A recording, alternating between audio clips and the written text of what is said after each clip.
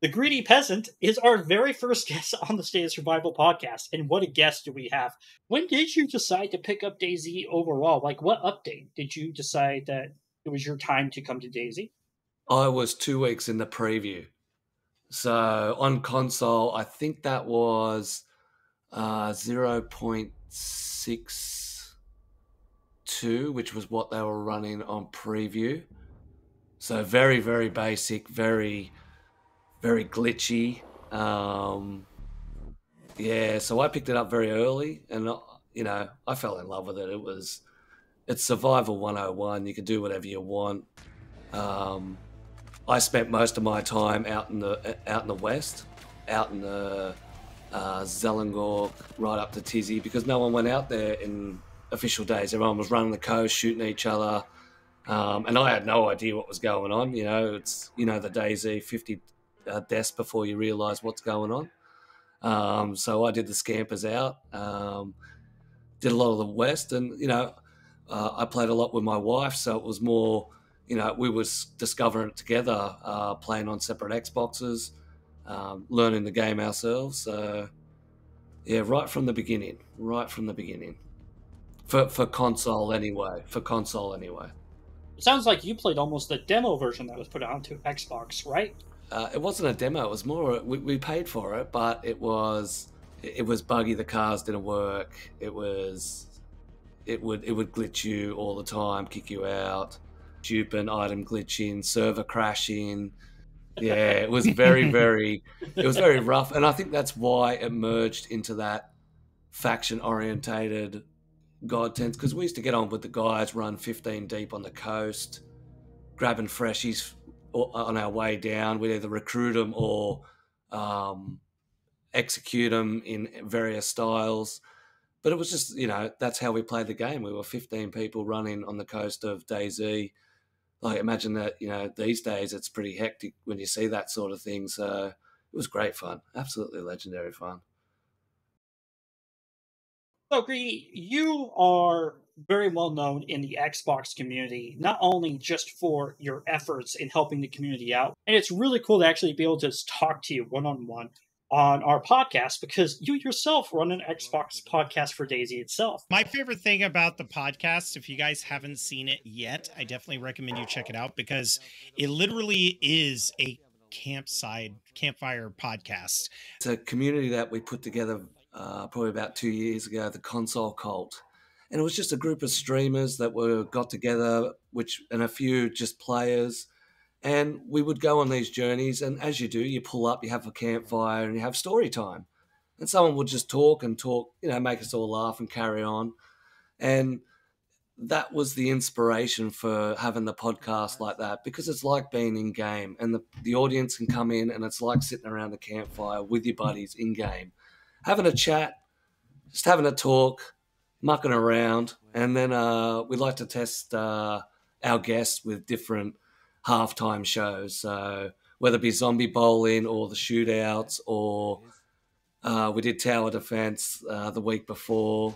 You know, anything that's uh, a little bit different to DayZ, but to really test our guest skills. Wait, wait, hold on, hold up a minute. Did you just say zombie bowling? Yeah, so we did Zombie Bowl, and uh, I think it was episode 24. We got our guests to drive any car they chose um, off a jump, and we had zombies on a platform that were all lined up, and they would knock down as many as they could. um, I mean, cahoots to you, because that's ingenious and absolutely hilarious to hear about. What's the it, highest it, record? I, I I bet you guys keep record. Who's ever got the highest? Uh, I think it's still up here. So the most hits they got was seven, um, and that was by I believe the owner of the Wasteland servers. So, question for Greedy: Do you find there is any advantages for PC players versus Xbox? I find there's a lot of lot of stuff on PC. You're going to gain a lot more people and a lot more volume of people. I, I see a lot of people going, doing that merged, following that path where you go, you get onto console. It's because console's affordable. Consoles, you know, you can get on a decent server. You get on if you get in your region, especially in the US. the US probably have the biggest uh, community on console when it comes to DayZ. So if you're in the US, you can grab a, a close range server that's semi high pop, unofficial, in your time zone, and have a crack. Um, but you can't get all the bells and whistles that PC have. And I'm not just talking like bells and whistles. We've still got towers and walls for bases. Like if we could have what PC has on bases, it may be a change. But you can see the progression to PC. And then the PC world is a little bit more different when it comes to their communities. So what happens is is they go to PC for a little while and come back for their community, not as much as the game my Discord um, has 150 servers that advertise it at any one time. Multiple server brands. Uh, we have one chat, one chat with over 100 owners in it. There's coders in there. There's there's a lot of people in there. Upgrade time and update time is probably one of the best things that I love to see because my new owners who have just started uh, get educated by the old owners and the and the coders that have been in the community.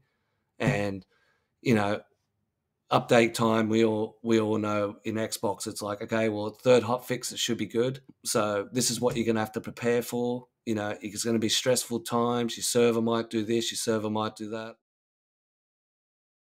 What cemented you wanting to be a streamer for xbox what was the final nail in the coffin that went i want to be here and i'm sticking here guys so it's what made me really start to want to get into streaming DayZ. Um, it was, you know, a big point of, a I'm stubborn, so if you can't tell me I can't do something, I'm going to show it.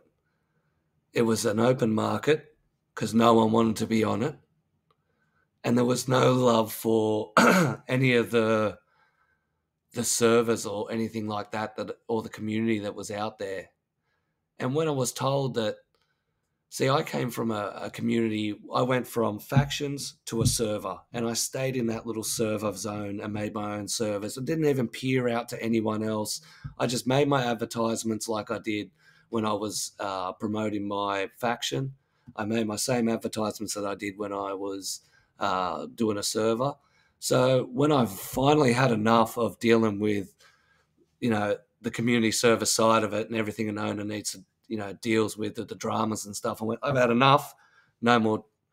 That's when I decided to venture out into the community. Um, I saw some absolutely fantastic servers that just made mine look like it was worse than vanilla. Um, and I was I was super impressed and one of the things that I couldn't find when I was looking for streamers is anyone on Xbox to advertise my server to come, you know, because PC you could see the popularity. Servers, the streamers go onto a server, server gets popular. The more streamers on that server, the more server that's going to get popular. Day one's a good example of it.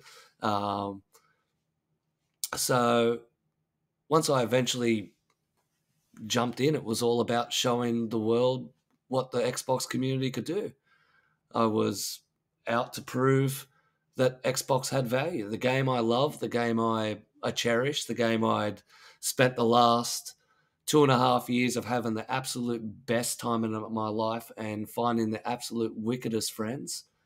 I wanted to show off that that's this is what it's about. It's not a it's not about the game. It's not about the graphics. It's not about the glitch. It's it's about the community. It's about your friends.